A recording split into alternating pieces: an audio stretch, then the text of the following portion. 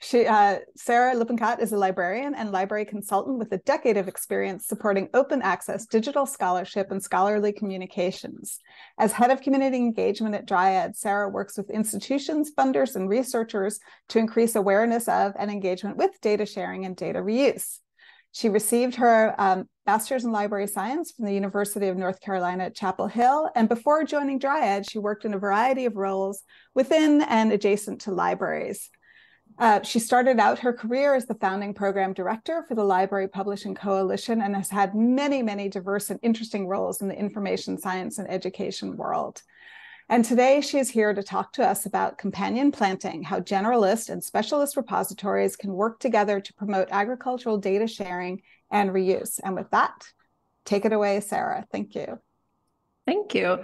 I, am really um, happy to be talking to you all today. Um, uh, uh, thank you so much for inviting me um, to to join your uh, your webinar series. Um, so so yes, I I couldn't resist a kind of cheesy plant metaphor um, in in the title.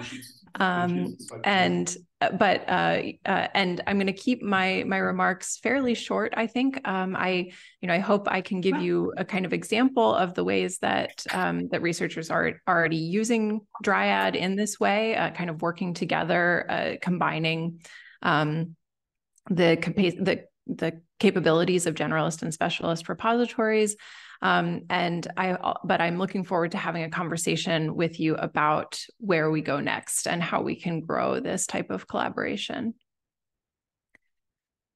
Um, so uh, just to, to reiterate, I'm the head of communication community engagement at Dryad. I'm also a trained librarian with an interest in advancing open and equitable scholarly communication.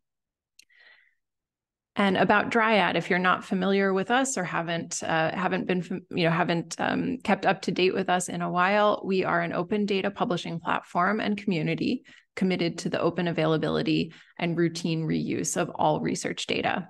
So we cover um, we cover all research domains and all file formats. Um, we are a non-specialist data platform with over 50,000 data publications, representing the work of over 200,000 researchers at over 70,000 institutions around the world. And our data publications are connected to articles in over 1,200 academic journals. Um, Dryad's origins were were in um, in uh, in it, our connection with journals, um, journals specifically in the ecology and evolutionary biology communities, who wanted a, a place, a trust, a trustworthy, reliable, um, independent place to to store data um, underlying their published research. We've grown out, we've expanded quite a bit from that original remit, um, and now serve all research domains, and we serve data that isn't connected to a publication in a journal. All of the data and metadata in Dryad are curated by our team um, to ensure that they're suitable for publishing and to facilitate their discovery and reuse. We permanently store everything in our Core Trust Seal certified repository. Um, so this is a, a, digital preservation repository. We have, have uh, copies in multiple location, different geographic locations. Um, we we we do uh, you know uh, continual monitoring of of files um, over time to ensure that they'll be there for the next generation of researchers. Everything in Dryad is published under a Creative Commons public domain CC0 license. Um, this can be controversial in some fields, uh, uh but um, but it's it's a core part of our our identity as an organization and, and our mission of removing barriers to reuse. And everything uh, that we publish is accessible for free to view, download, reuse uh, on datadryad.org and through our API. Um, so what I'm going to talk through today is a, just a brief introduction to Dryad. I've, I've already basically done that. Um, I'm going to give a perspective on the value of generalist and specialist data publishers. I think this isn't something that's going to be new to this audience at all, but I hope it serves as a, kind of a starting point for the conversation um, or a foundation for uh, for some of the questions that I'll have for you later on. Um, I'll give a, a just a, a, case study, an example of of how Dryad is already serving as this kind of as how how researchers are using Dryad in combination with specialist repositories and and um, how we're playing that uh, uh, kind of uh, networking role. Um, and then I want to collaboratively strategize with you on how we can enhance those types of connections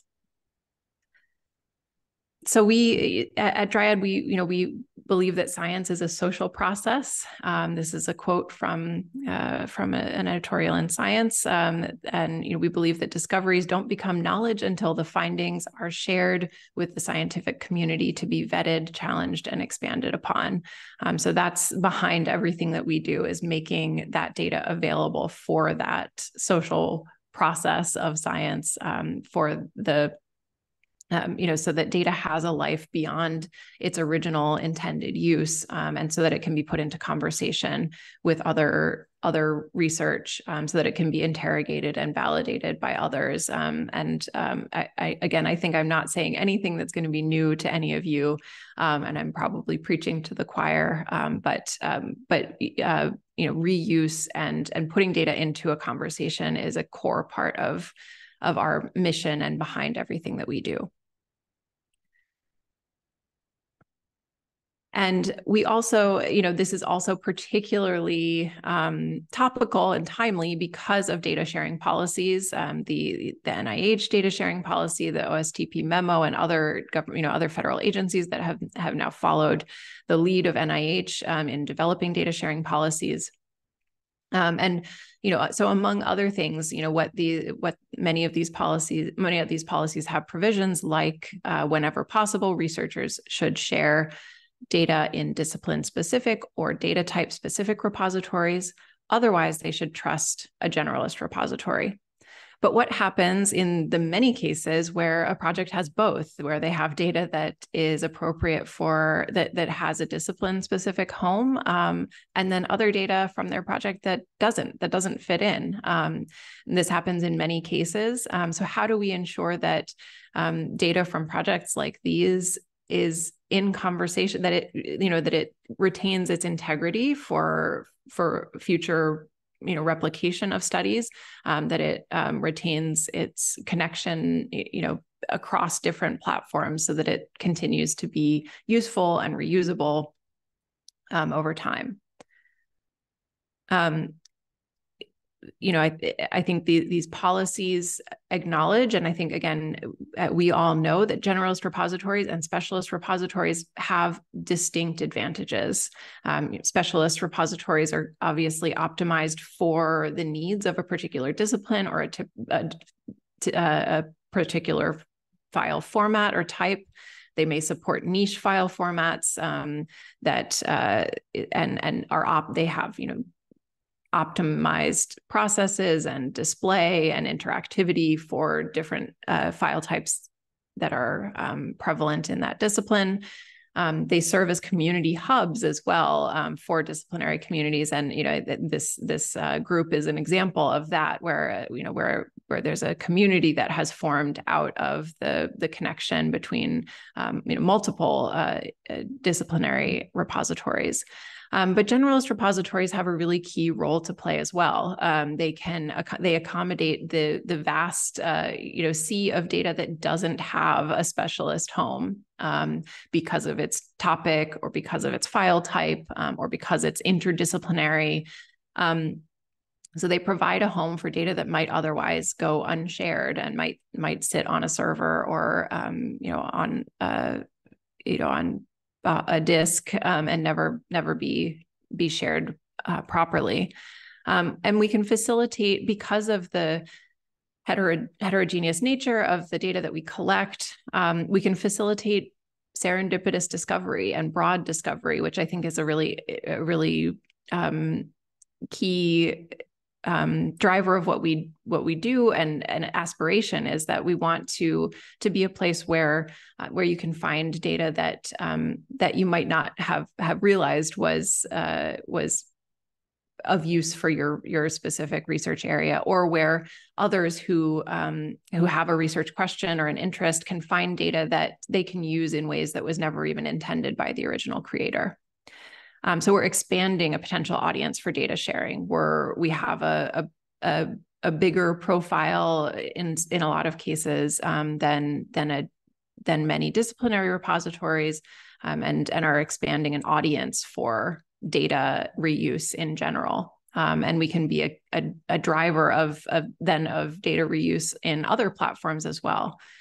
Um, uh, and um, so, so there's a, you know, there is a, I, I think there's a continuing role for both types of repositories going into the future, and especially as we, um, as we, we ha- are in this era of of policies that are mandating or, or heavily encouraging the sharing of data, and when we anticipate a growth in the the volume of data that will be shared over over the next several years, um, a huge huge growth potentially. Um, so you know, I think that you know, kind of key key. Um, so I, I want to kind of go through an example of of a of this use case of of publishing data in multiple repositories, what that looks like um, as a as a as a framing for for this kind of discussion of how do disciplinary and generalist repositories how do they not only complement one another um, as i've just shown but how can they actually be used together um, so, you know, there there are a, few. I think there are kind of two major use cases that I think of when I think about when data from a single project might be shared in multiple repositories. The first is when a project produces multiple data types or formats. Um, and there are subsets that might belong in a specialist repository due to their file type or subject matter, and subsets that don't have a home, um, but they're connected to the same, they were collected, you know, uh, for the same for the same purposes um, to answer the same research question, and they're used in conjunction in doing an analysis. Um, or there's a specific funder requirement that says data needs to go in into a certain home, um, or, or subsets of it of the data need to go into a certain home, and others uh, aren't subject to that requirement.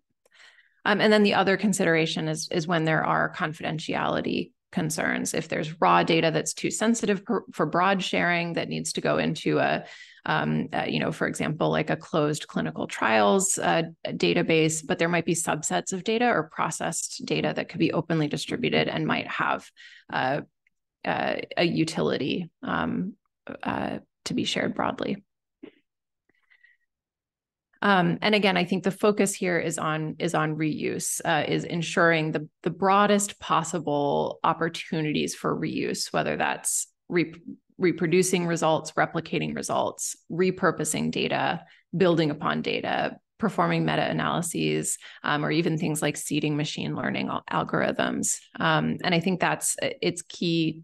That's you know this is a key when we're thinking about um, you know everything that we we do all of the features we develop all of our services and policies are focused on on this um, broadening of reuse. Um, we are and, and, we're seeing this also as a, a, key focus in a lot of disciplinary communities as well. Um, so this was a recent editorial published in um, Ecology and Evolution. This is so it, it, the ecology and, and evolutionary biology communities are also seeing that too often, oops, um, too often open data are uploaded kind of piecemeal. Uh, they don't have the accompanying metadata or they're missing context um, that happened before the data deposit. Um, they also may be missing like connections with other data sets or other, you know, other code or other pieces of, of, of research output that that uh, make them reusable. Um, and so, and the, as the authors of the this editorial say, the potential for reuse of, of data sets like that is um, is is greatly reduced when they don't have all of that context and all of those connections. So we're making and sustaining those connections at Dryad. That's our that's our goal. Um, and I want to give a kind of a case study of how that works right now, and then pose a question to you of how do we make that work better? Um, you know, how do we build upon what uh, what we can currently do um, in terms of of keeping those connections? Um, so this is a, a data set that that uh, we published in 2022. Um, so uh, putting myself in the shoes of a researcher whose study uses genomic data in combination with landscape, dispersal, and occupancy data to inform conservation unit delineation in Nevada, populations of the Great Basin distinct population segment of the Columbia spotted frog. Um, so this study has raw uh, gene sequencing data um, and they also have filtered data, um, so a subset of that data. They've deposited the raw sequencing data um, into a, a, bio project um, at the NCBI um, and the filtered data into Dryad. So to build connections between these two data sets, how to keep them together because one informs the other. They're, they can't be they they don't make sense independently. Um, they you can't reproduce the results of this study without both of these data sets, but they're in different repositories. So building connections and providing context here is key. Um, so some of the things that I think they've they've done really well in this instance that and that Dryad has helped to facilitate in some cases are indicating the use of multiple repositories in a data management plan, um, so that that's clear from from the outset that that's the intention, um, and uh, uh, and that that that is is recorded somewhere. Um, They've added persistent identifiers for related data sets and other outputs. They've described how and why data has been divided between repositories, and they've strategically applied metadata. So, you know, for example, um, you know, indicating in a data management plan, you know, that raw data has been made available in in in this database, filtered data has been made available in Dryad. They've added persistent identifiers. So this is the data set uh, on Dryad's um, uh, platform. Um, so they have this is the data set deposited in Dryad. They've added uh, a related item um, when they've submitted their data to us. They added the DOI or the persistent identifier for their data set in NCBI. So anyone coming to visit this data will see the link to this data set, and they'll also see described in the abstract that the authors provided on Dryad, uh, the, the, they'll see that noted that this additional data set uh, has been deposited at N- NCBI, and they'll see in the README file that's associated with this data set uh, that reference and they'll see the methodology of uh, you know for for the data collection and processing They've also added um, a, the uh, DOI for an article that was uh, um, written, uh, um, you know, that that writes up the results of this this study that was used, uh, that the data was uh, collected for, um, and there as well, they've provided both the Dryad DOI and the um, NCBI URL in the um, in the data availability statement there. So this is a, a nice package of all of the context that a researcher would need in order to replicate this study. They've also strategically applied metadata.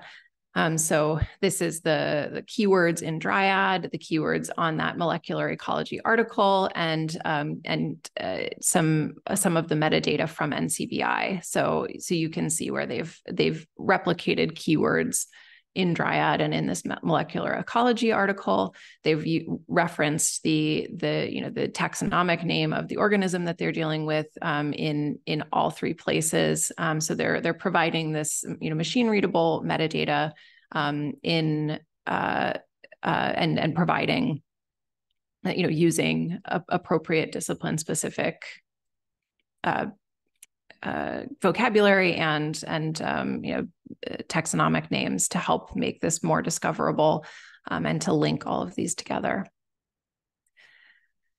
Dryad supports uh, you know supports a, a range of of uh, just uh, just to kind of note that Dryad supports a range of persistent identifiers in addition to to collecting DOIs um, uh, and and other um, URLs for related works um, that also help to connect Dryad information in Dryad to other um, to the creators, funders, um, and and stakeholders and other outputs. So just to kind of um, illustrate that, we collect ORCID IDs for researchers. We use research organization registry IDs for institutions. We provide DOIs for each data set through DataCite Um, we provide metrics that conform to make data count standards.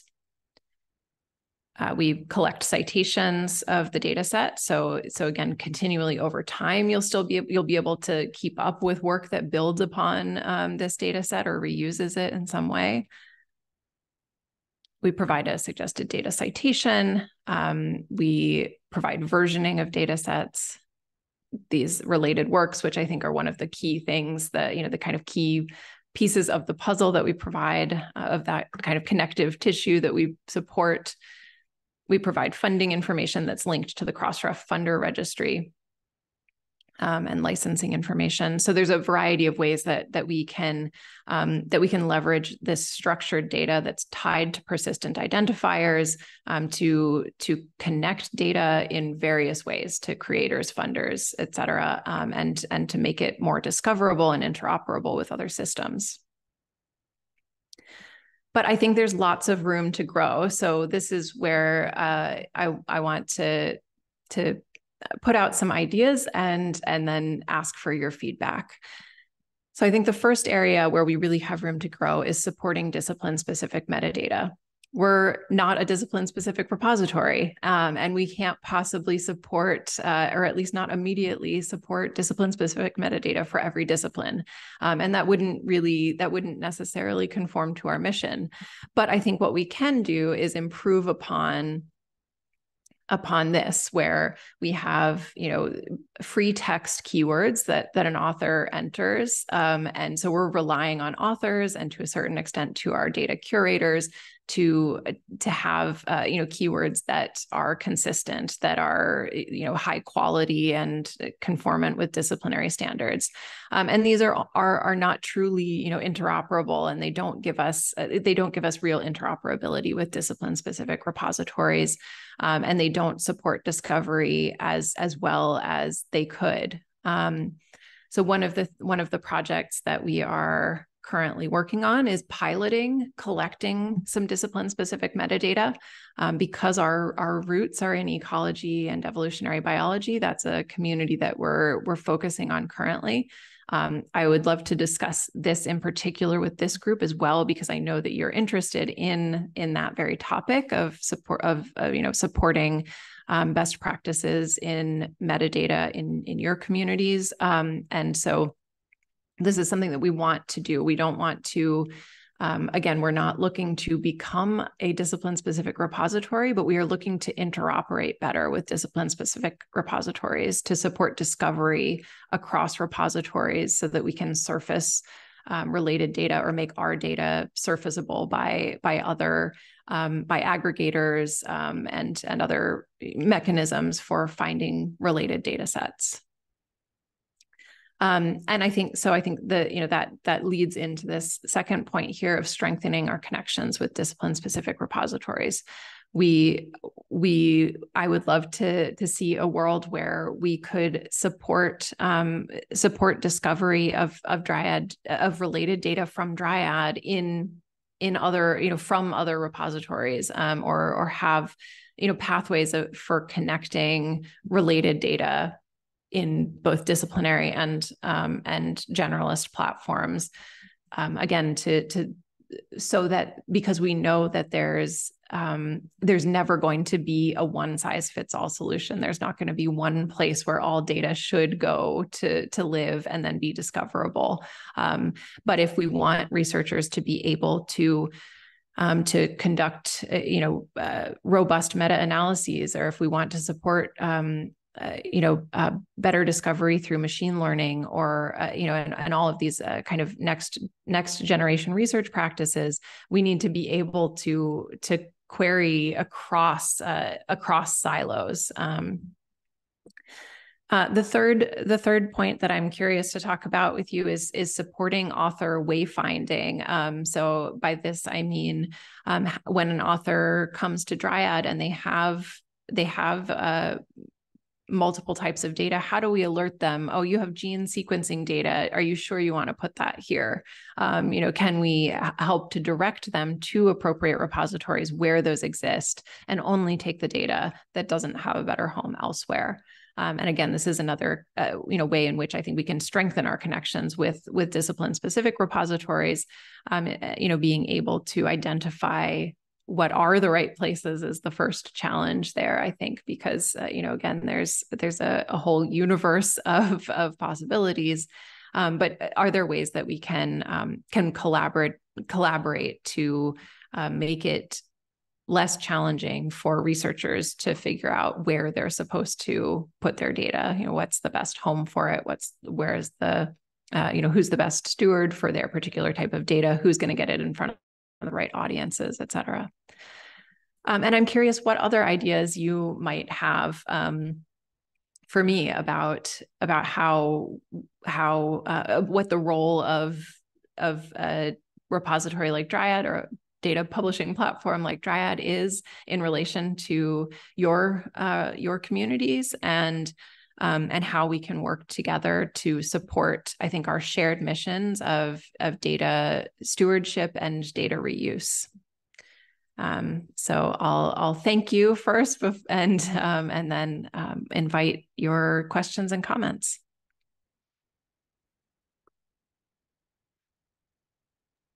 Thank you so much for that. That was absolutely um, fascinating. And for me, at least, you touched on a lot of points that um, I've been thinking about as well. Getting a lot of uh, applause here. Um, so uh, as far as uh, questions or comments, there's a comment in the chat from Peter Selby um, about maybe, um, Peter, if you want to sort of hop on and explain about um, how you think that BRAPI, the BRAPI standard could serve as this discipline-specific metadata standard. Do you want to kind of address that? Uh, can you hear me now? Absolutely. Oh, perfect. Okay. Um, yeah, sure. So yeah, I I just uh, dropped a dropped a note in the chat here. So yeah, I'm I'm uh, Pete Selby. I I um, organize and manage the the BRAPI project, which is a uh, an API metadata standard um, for for breeding data. Um, and so yeah, that's one of the things that you know we're we're trying to do in the BRAPI community is is encourage a lot of the data sharing um, and and data reuse and data accessibility. Um, and so uh, that's you know that's a lot of the things you were just talking about is see a lot of connections there, but it is you know very discipline specific for for breeding data and, and gene bank data and that sort of stuff there. So um, yeah, I just I wanted to call it out, and yeah, if you've got any other questions or anything, I, I'm always always happy to chat. It's my it's my whole thing. Thank you. I, I will take a look at that, and I will probably follow up with you. Uh, you know, we're we're looking to pilot with multiple communities. You know what what it would look like to collect um, to collect metadata and uh, and um, uh, and test it out with with researchers who are already interested in in adopting um, such a standard. So thank you for sharing that. Yeah. So I, I have a question sort of that, that's a follow up to that and you know you about how um, in, in, the in the work that you're already doing about interacting with communities like you know can you give sort of an example of procedurally how one might do that? Like you know if we come come up and define metadata standards you know what what does that collaboration look like to you? And then i will get to um, doreen and timothy after. Um, so you know we're still in early stages. We have been working with um, with a, a we've been working with a, a, project from out of Stanford called Cedar that has developed metadata templates, um, and so that's that's one one avenue. Uh, you know, we're we're uh, um, looking at using their technology to um, to implement forms that we could then test out with researchers. So I think a collaboration would look like you know taking a look at what what are the what are the key metadata elements that we can collect it might not be everything in a standard. So i think that's part of it is defining you know what are the what are the key things that um, that a, a, generalist repository might collect um, that that would be useful in this community. Um, and then I think testing it out with testing out the form with some researchers, actually trying to um, uh, to promote uh, the use uh, of it, doing some user testing, but then also working with the community to um, to to help spur adoption. Thank you. Um, Timothy? I think Doreen was first, but I'm happy to go. She passed to you first. oh, okay. All right. Um, um, right. I've got too many questions. I'm not sure which where where, where should I start. Mm-hmm. Uh, I've got um, some question about uh, metadata and how you would.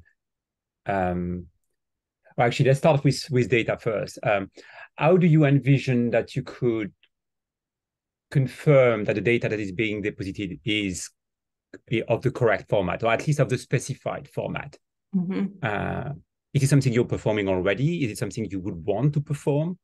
Um, so we we have Dryad has a team of data curators. So we do we look at every data set, um, and you know currently we don't we don't have a um, a, a we, we accept any format. Um, if we were you know and uh, if we were um, working with discipline specific metadata that that had eh, that's something that our curators would also check. So if we were implementing one of these you know these additional forms to gather metadata that would be part of the process that we would have to implement is making sure that our curators are are equipped to to actually to check that additional metadata as well um, because that's a, a, core part of what we do is that kind of quality assurance and making sure that everything matches. Um, and if you know a readme file says that this data set is supposed to be a csv but someone has uploaded a you know some other kind of file like we would we would go back to the author and, and ask them what that was what that was about. So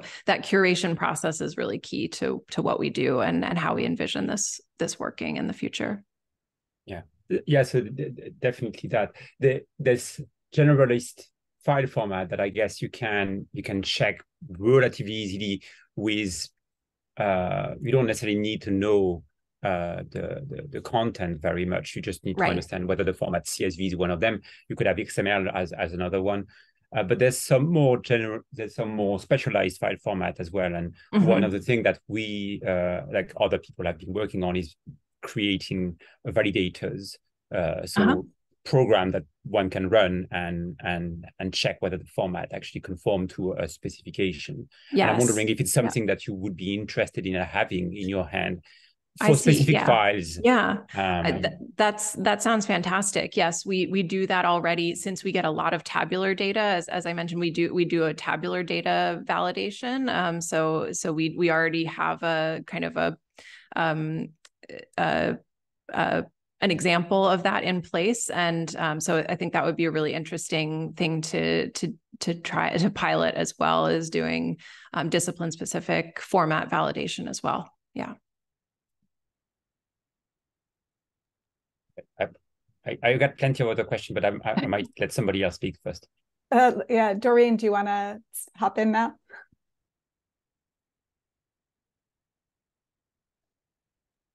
We can't hear you. Thank you.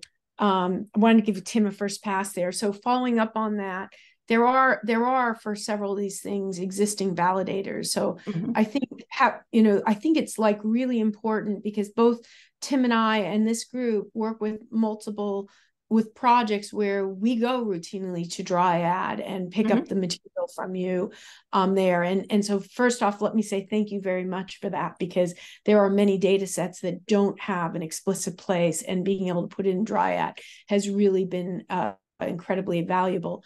But I, I, I really wonder what your thoughts are following up on um, what would be required for you to support pointing them to those validators or things. What could we do to help you? So mm-hmm. that's one question. And then the other thing that I think is really interesting about Dryad, and I'm not necessarily sure if I missed it, but you really have an opportunity to review what type of data sets have already been deposited. And mm-hmm. if you have boluses of those data and there aren't other locations, there becomes an opportunity to develop a community to define yes. a better format for those. And I'm curious of whether you've identified examples of gaps like that and whether there's an opportunity to use Dryad to coordinate more of a synthesis of that there. So like for instance, like if we just asked you a question very specifically, how many data sets do you have from agronomically important species? And let's just say we we gave you something across uh, animals plants and insects as as an example. Um, um, and then uh, what are the district what is the could is there a way that we could get from you information on the types of data that have been deposited about that um, to actually get from you information on on what types of data sets you're routinely seeing and then mm-hmm. perhaps mm-hmm. there's a way that we could come up with recommendations of pointing in directions of best practices of that i think that's that's a fantastic idea it's it's something we have discussed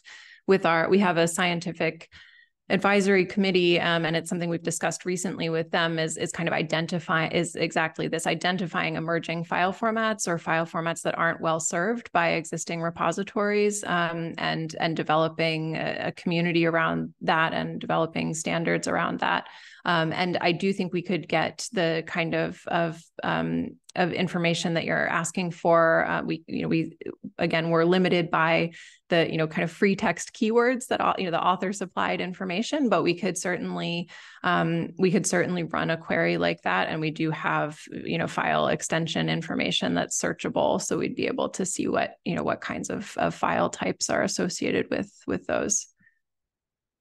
So yeah, Thank I'd be you. happy to follow up with you about that. That would, that would be great because I think I think that it's a way for us to basically target that and then perhaps even make recommendations when journals are coming to you of this is what they should ask their people to do before they just dump and run uh, you know because Absolutely. there was this there was this recently i didn't go to this meeting but um, there was a comment that came out of the biocurators meeting that uh, uh, I think the newly developed word was crapome uh, because it's like, you know, if people are dumping things to you, but with minimal effort, they could be dumping things to you that really could be useful, like more useful than it is right now.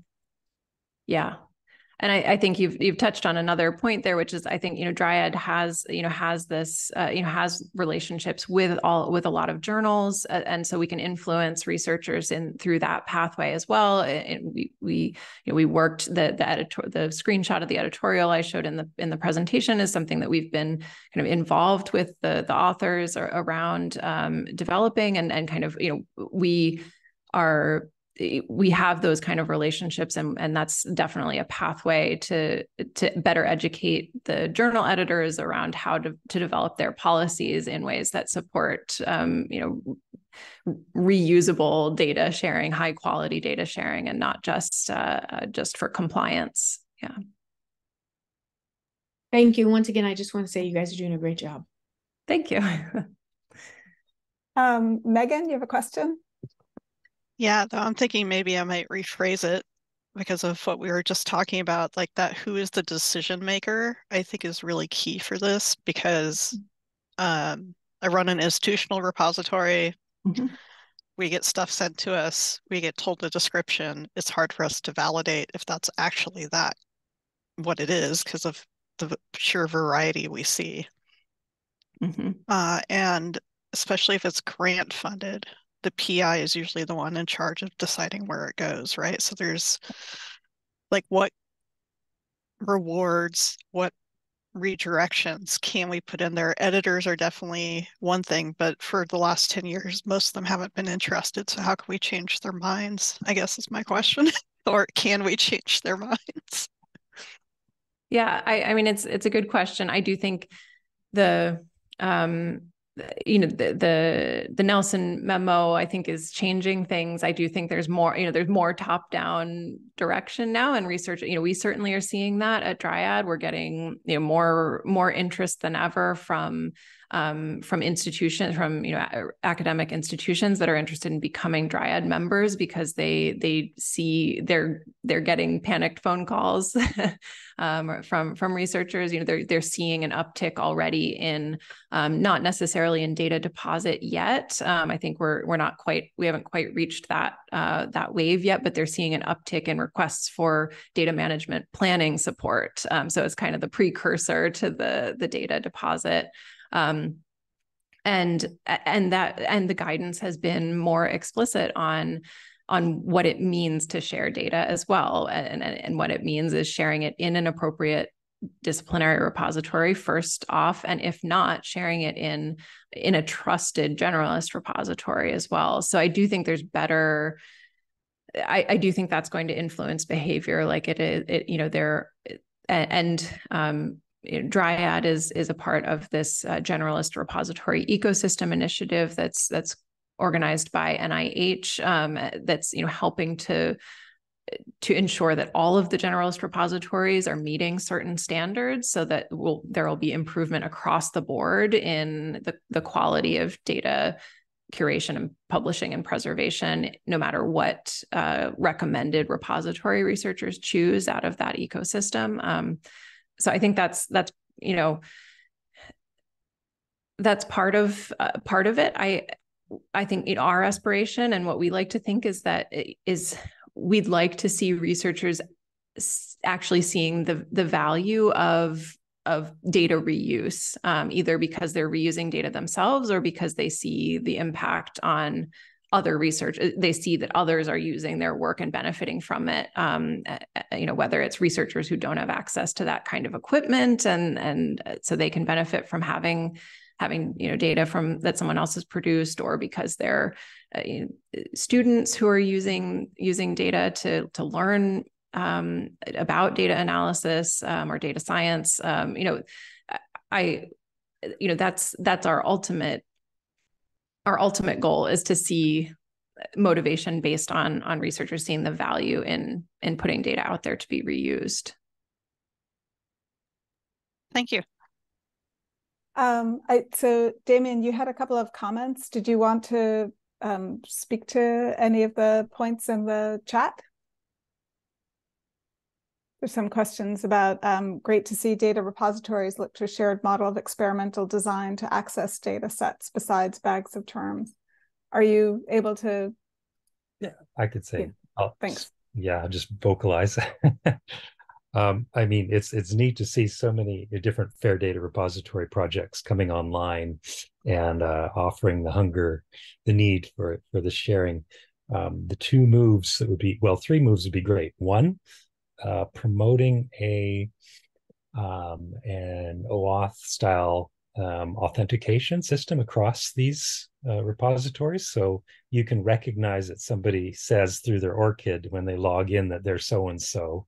And then that provides more seamless access across these platforms. So that would be like one one uh, future progression. Another one would be um, already mentioned um, uh, um, I forgot who it was that was mentioning it, but the um, the adoption of an external specification scheme. So I you said Cedar mm-hmm. was your um, target, and um, that comes with a bundled sort of uh, data platform for managing data. So I guess you're looking to tighter integration that way. Um, but choosing a a schema system that takes on uh, representing just about anybody's data would be great mm-hmm. across these repositories. So, mm-hmm. not just adopting it, but sort of promoting it for adoption by other systems. Um, and then the last thing would yeah. be so many of us are forced to just use bag of terms, even if they're coming from an ontology, to describe the data at a meta level, not down to the field level. The schema yeah. thing should take care of the field level, but we're still missing the experimental design structure.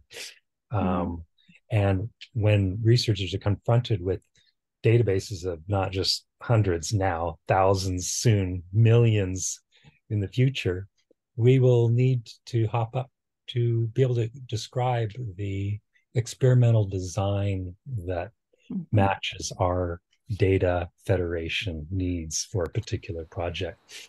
And so um, my eye was caught by this experimental design assistant project because it kind of shows diagrammatically how any researcher could provide a view of what their experiment was and it's therefore its data. Um, and if only a system like that would also generate the metadata which they haven't yet. They promise to uh, soon. so adopting an experiment, a shared experimental design. Yeah. Uh, Yeah. Rex, you had a question. Oh, sorry. Did you have, have a response? No, I think these are these are great points, and I, I guess my only response is yeah, is is, uh, is I will I'm going to look into to um, the links that that you that you posted, and, and uh, may have some questions for you uh, as well. But um, but yes, thank you for sharing sharing your thoughts. Thank you. Too. Rex, do you want to go ahead? Yes. Um, I was just wondering if you have any feel of how many submissions you lose during the submission process. And a follow up to that would be if the if the requirements for submission are too high, are you afraid that what will develop will be a shopping for the whoever has the lowest bar? Yeah, great questions. Um, so uh, the the first answer is yes. We have as soon as a submission is started, it's basically stored forever uh, in in Dryad, so we we can see you know exactly how many submissions have been abandoned um, and see that over time. And it's something that we could use as a benchmark and i think would use as a benchmark if we were testing out changes to the submission process or adding additional metadata to see if that resulted in a higher rate of abandoned submissions um, or you know affected the um, the submission uh, that use the researcher behavior at all. Um, uh, and um, uh, can you repeat the second part of your question? Oh, whether what would develop out there, since there's more than one repository, is that the user would just shop around right. for whichever is the easiest to submit to. We we see that we definitely see that behavior already. I think you know I think we we see uh, anecdotally I've seen that. Um, you know I know there um, uh, there are repositories that have lower lower barriers to entry than Dryad um, that that don't require as much metadata entry, that don't have a curation process. So it's um, you know immediate um, and th- there's no lag time um, that that don't um, that don't have the same um, uh, you know data validation step that we do for tabular data and those kinds of things. So anecdotally, I think that already does happen, and it it is concerning to a certain extent. I think again, I'm I'm optimistic that um, that these that in this new policy environment that we're in, that that's not going to it's not going to pass muster. Um, it, that the, these policies